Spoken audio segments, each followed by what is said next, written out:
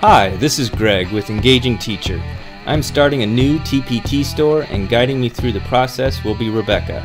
She started her TPT store over five years ago and has agreed to answer my questions and share her experiences running an online business. All right, so you've walked me through all the information I'm going to need. So let's go ahead and actually upload some products. Um, I'd like to do a free resource first and then a paid resource after that. Okay. And TPT does require that you have that free resource, so I'm glad that you've got that ready to go. The first thing that we've got in here is we have our title and we have our description already done. And we did those in a document offline. So, or we did it in a Google Doc, I think, but you could also do it in Word or whatever. Mm-hmm. And we do that in order to make sure that we have the document because there's nothing more frustrating than starting to type in your description and it's perfect and everything you want and then the site goes down Mm, or your yep. computer goes down. So, Yes. definitely want to make sure that you have that. Also, it's easy to edit. Okay, and then you can use it over and over. Exactly. All right. Okay. Um now now that we have the title, the description, ready for the product? Let's do it. Okay, so this is going to be selecting it from your Google Drive. And let's choose your Google Drive. Hey, Teachers Pay Teachers wants access to your Google account. And it tells you which one. This is going to allow them to view and manage metadata of files in your drive. And if you want more information here, you can get that. Metadata includes information such as the file's tita- title, description, and modified date. Okay. Information about the files, but not about their contents. Okay. All right. View and manage Google Drive files and folders that you have opened or created with this app. So we can read through all of this. I'm not going to read it out loud to you, but in order to make sure that you're comfortable. Okay. All right, it says make sure you trust teachers pay teachers. You can go through and read their terms of service, their privacy policies, and that you can always undo it. Okay. Okay? And then about you can learn about the risks right here. All right. But in order for this to work, you have to allow them to do it. All right. So All I'm going to allow. Okay. All right, so here's your folders.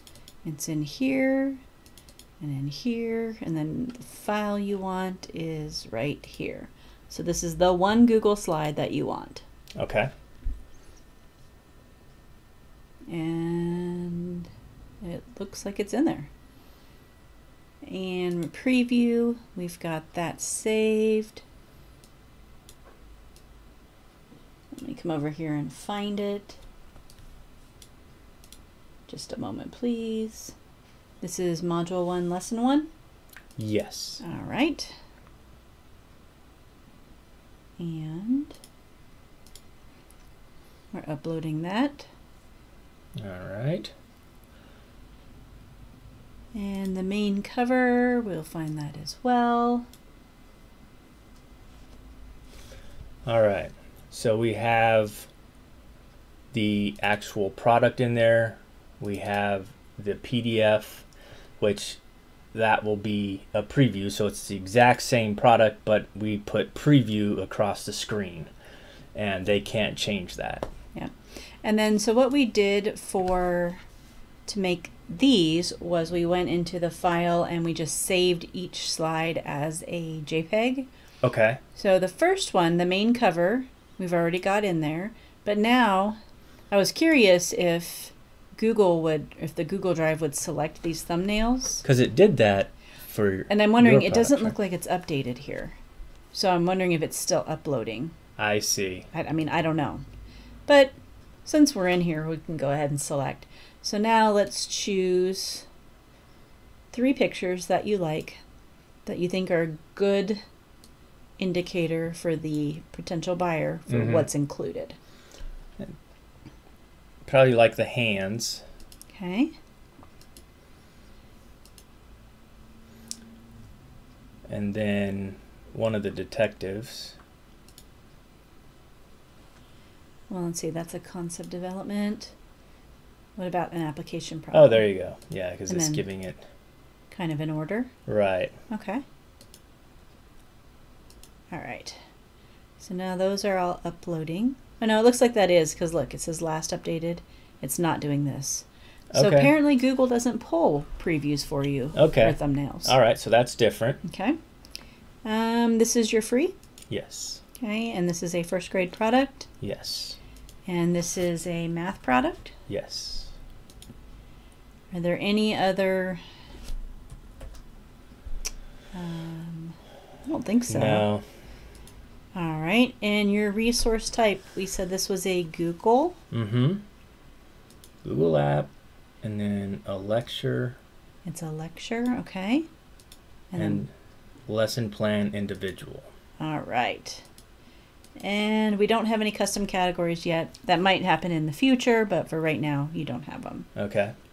All right, your Common Core state standards.